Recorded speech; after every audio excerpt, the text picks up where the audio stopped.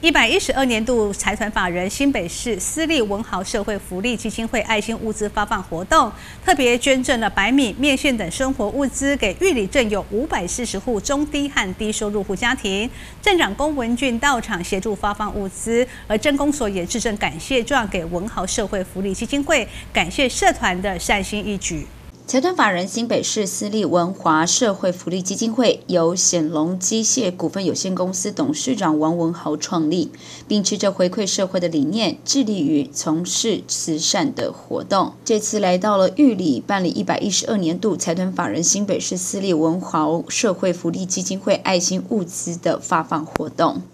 那董事长他的理念就是说，他希望在台湾这个地方能够出一份力，来救助当地的一些各乡的人士。年来，已经在台湾多处乡镇发放物资，将爱心散播到各个角落。玉里镇长龚文俊特地准备了感谢状，感谢文豪社会福利基金会，感谢无私大爱与善心义举。公斤的米，一公斤一公斤半的奶粉，还有一个十人份的调理包，还有一点五公斤的沙拉油，还有。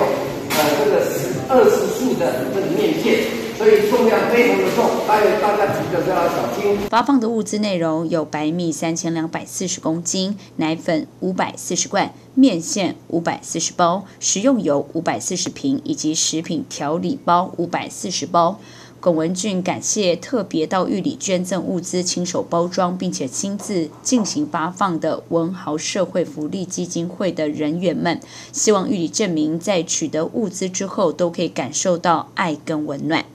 记者高双双玉里镇采访报道。